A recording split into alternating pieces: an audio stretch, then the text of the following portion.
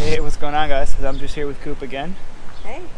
It's uh, day three in Brazil for us, and we've been hitting it pretty hard. Been riding every day. Uh, we've kind of got a nice little routine going. We wake up, get a session in, come back, get lunch, get some hammock time in, and then get an evening set. We've got about, uh, I think, seven days left on our trip or something like that. A couple more days in Taiba, and then we're going to be heading south to the uh, Kite Mansion to link up with Colleen Carroll and Sensi Graves, as well as Alex from the uh, Kite Park League.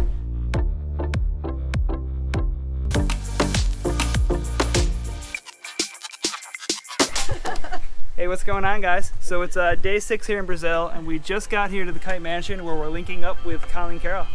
Hey guys, uh, so stoked to be here. We just arrived at the Kite Mansion, and I've never been here before, even though I've been coming to Brazil for I think seven years now. But we're gonna have a Kite Park League event here starting in a week, which we're all really excited about. So we are headed down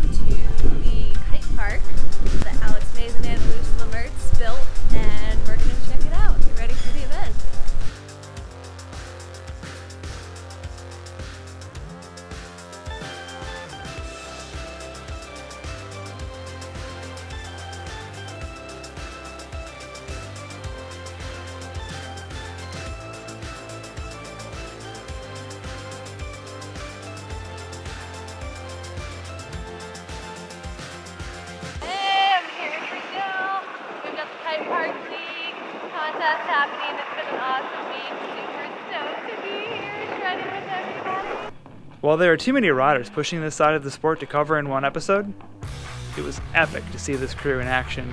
This week, we're catching up with two female riders who have been a part of this movement since the beginning Colleen Carroll and Sensi Graves.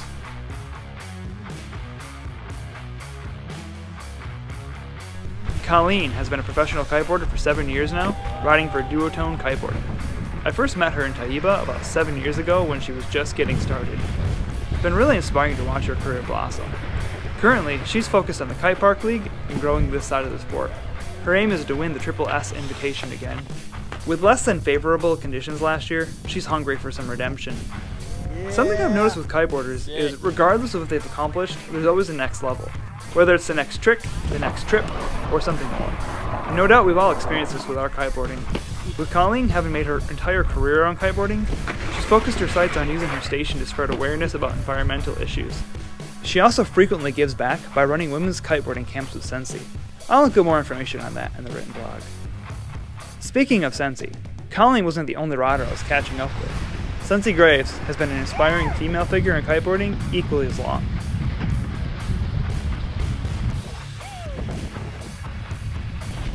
When I met her down here seven years ago, she was just getting started in her kiteboarding career as well. But unlike everyone else, she was also starting a bikini business. Today, thanks to consistency and effort, her career and business is thriving.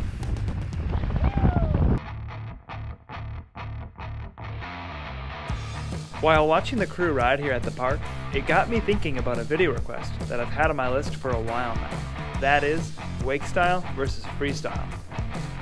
I've already written that video up, and I'll be filming it next week with some friends from our local cable park. Kiteboarding borrows from many sports, including wakeboarding. The style of riding here is by far the best example of wake style that I can think of, but there is a lot more to it than that. Stay tuned, and we'll break that down in the coming weeks here.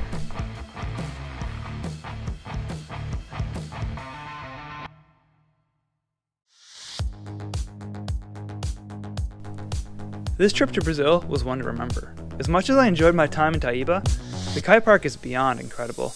With the conditions, the vibe, and the features, no doubt I'll be back next season for longer. We wrapped this trip up filming with the ladies in the lagoon. It was great catching up with these two and hearing about their journeys and future goals.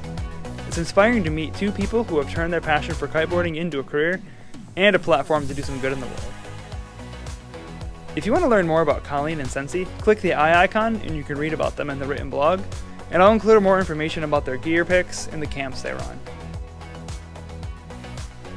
This is the last leg of my journey, and it was time for Kristen and I to head back home. Well, alright, that's a wrap, guys. It's been a good week. You know, we got a lot of riding in, a lot of filming. Kristen managed to land her uh, raley to revert. Yeah. Yeah, so nice work. So we're just waiting for the uh, taxi to come get us, and we're heading to the airport. And uh, it's actually snowing back in Michigan, so we'll uh, see you somewhere warm the next time on sessions.